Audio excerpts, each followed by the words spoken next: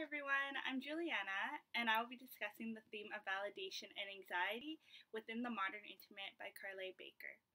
I'll be highlighting the relevance and significance of validation and anxiety within this text, and lastly, draw a connection between Cat Person by Kristen Roupenian and the modern intimate as they relate to these two broader themes.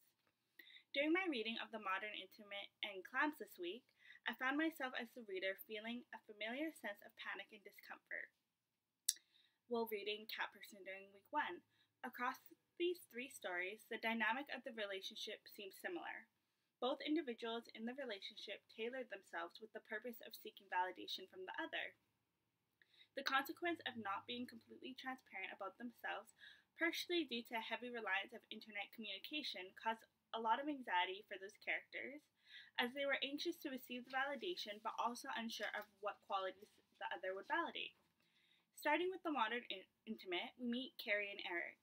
When she is making the vegan, vegan baked oatmeal, Eric is brought up three times.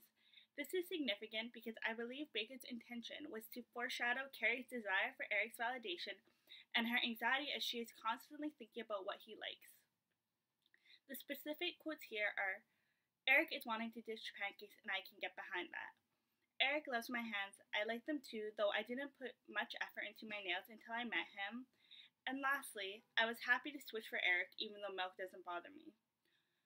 On the other hand, Eric seeks validation from his work peers and overall desirability from women, however, not specifically Carrie.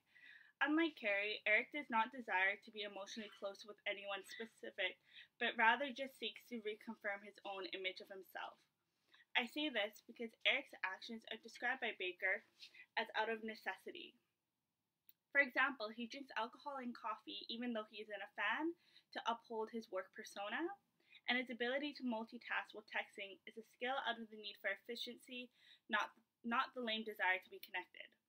Baker shows us a slight breakdown of Eric's character when he's in the cab heading to the work function. Eric became exponentially more aware of how uncomfortable he is.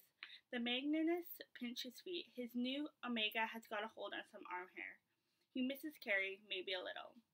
This passage is significant because it speaks to Eric's anxiety and discomfort towards upkeeping his work image and also his anxiety towards emotional closeness.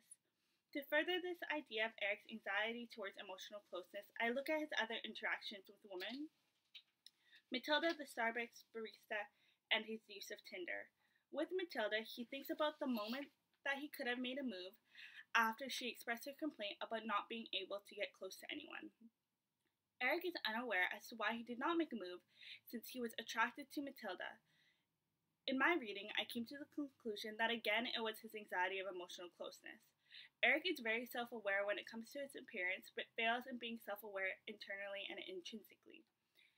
With the Starbucks barista, he focuses on his appearance and what he thinks the barista found appealing about him when she bats her eyelashes at him. The last aspect I want to touch on in the modern intimate is the role of Tinder for Eric and Carrie.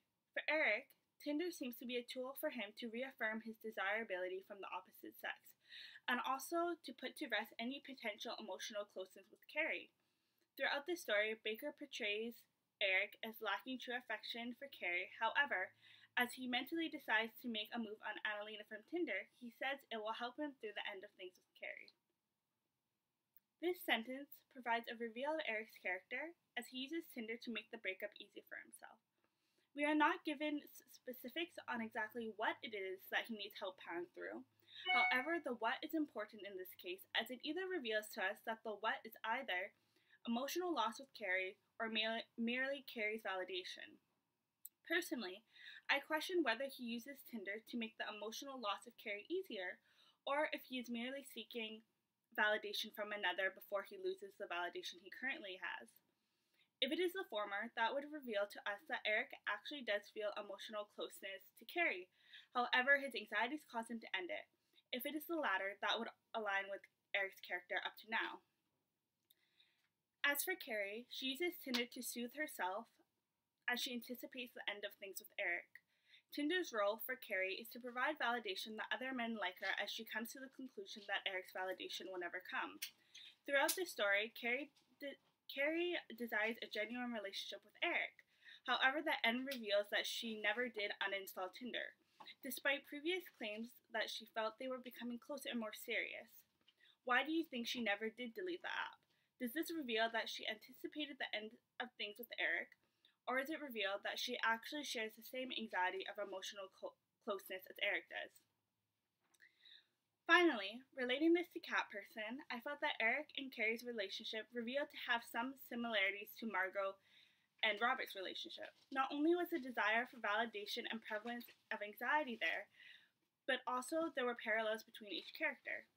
Eric and Margot share similar thought process and seek validation due, through their desirability to the opposite sex, to the point of picturing themselves from the opposite sex's perspective.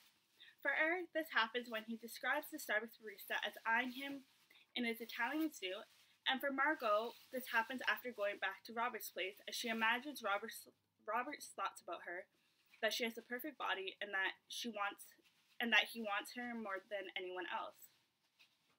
Carrie and Robert share a similarity that they tailor themselves in pursuit of validation from their partner.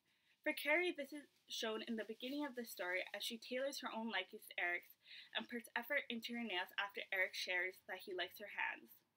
For Robert, this is shown as he is not honest about his age from the beginning and tries to impress Margot with his movie choice. Some may not go as far to say that Robert and Carrie are liars, since Margot and Eric never ask specific questions, but rather that Robert and Carrie seek out their partner's validation so much so that they present themselves in a specific way. Of course, with this lack of transparency, anxieties arise in the relationship as each individual upkeeps their self made image.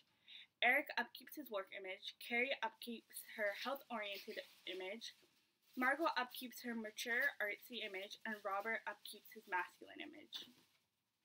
Each of them create images to satisfy their desire for validation, even at the expense of the anxieties that come up, that come along with upholding this curated version of themselves. The image that they create parallels similar, similarly to a dating profile. The profile is self made and aims to gain the approval of others. Like Eric says, women are experts at looking beautiful in their photos. However, I would like to take this further to say that both men and women do this. For Tinder, people portray their best image, and in the modern intimate and cat person, the characters portray an image aimed for validation. With this conclusion, the fiction texts seem to parallel our nonfiction reality. Thank you so much for listening.